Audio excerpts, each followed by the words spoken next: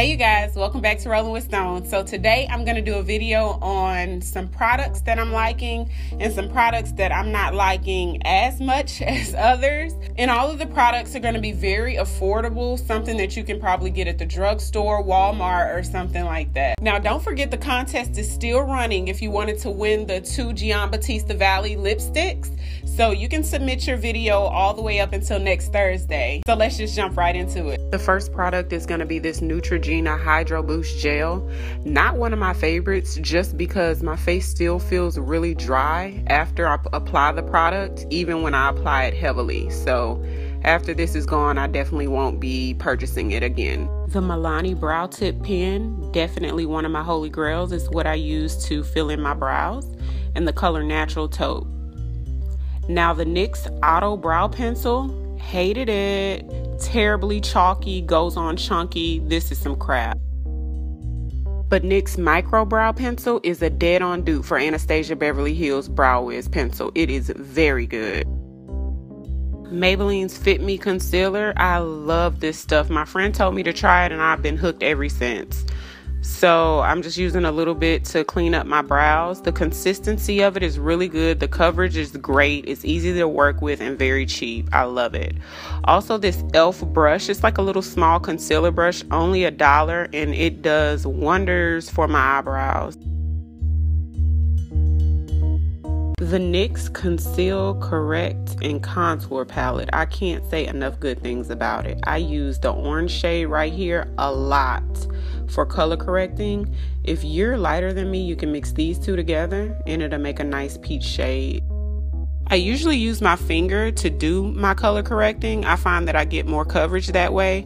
The difference between this one and the one by Anastasia Beverly Hills one, this is a lot more tacky. On to foundation. Now the Black Opal Even True Foundation, the whole formula of this foundation reminds me so much of Kat Von D Lock-It foundation, which I love. But the color, the color, the actual color of the foundation, it just was kind of greenish and it didn't work. So kind of disappointed. But I am a fan of the Maybelline Fit Me Matte Poreless Foundation. It is one of my favorites for the hot summer months. And that's what I'm wearing today using Real Techniques blending sponge, which I really love this sponge.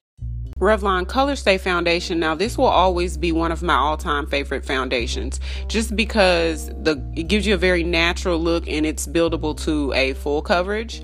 But I'm using it just around the perimeter of my face just to warm it up a little bit because the other foundation left me just a tad bit light. Going back into that NYX Cream Contour Palette, I like to use that dark shade, but for a subtle highlight, I like to mix these two together.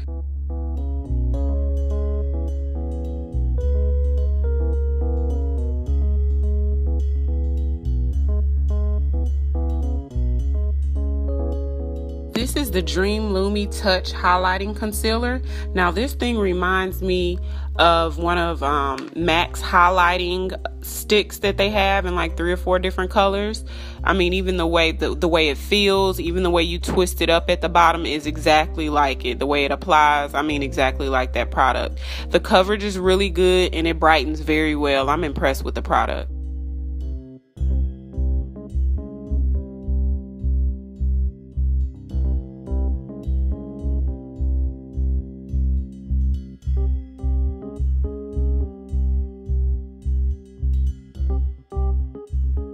Now I'm going in with the Maybelline Fit Me Concealer just to do another layer of highlight. Now, honestly, you guys, I don't know if this is something that you guys have to do or should do. I just saw somebody else do it, just to be honest, so that's why I'm doing it. I do really like how my makeup turned out, so I'm going to try this technique a few more times before I give you like my honest opinion of it. The Revlon Nearly Naked Face Powder has been one of my favorites for almost a year now. I really like this powder, but the only thing is I usually wear the color deep. And as of the past couple months, I have not been able to find that color anywhere, only medium deep. Now, this powder is just the Mineralized Skin Finish by MAC. I like to use Deep Dark to bronze my skin. This is LA Girls Glide Gel Liner in the color Champagne. I like to use this for my waterline. It really helps open up the eyes and it's so smooth, so it feels comfortable in that area. Just applying some mascara to my top and bottom lashes. I really like the NYX Dewy Finish Setting Spray. It really gives you a nice dewy finish when you're not wearing as much powder as I'm wearing today. Ardell number 134 lashes are my all time favorite eyelashes. And I like to pair them up with a brown pair of lashes because I always double stack my lashes. And today I'm going to be using Andrea's number 33s. This is the Milani Tantastic Face and Body Baked Bronzer. I really love this product. This is probably my favorite product for the summer. It's a gold gold highlighter that has really really light light color gold reflex in it and it goes on so pretty. So the light gold part I apply just right in my inner corners of my eyes to open it up and then I sort of just run the brush through the rest of the product and eh, to go ahead and highlight the top of my cheekbones and it gives me a nice beautiful glow.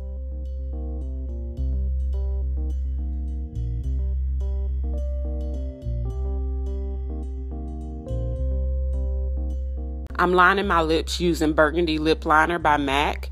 And then the lipstick that I'm going to use today is actually by Ruby Kisses. It's one of her matte lipsticks, and the name of the color is Nude Rose. So thank you guys so much for watching. Don't forget to like and subscribe to my channel if you haven't already. And until next time, thank you for rolling Stone.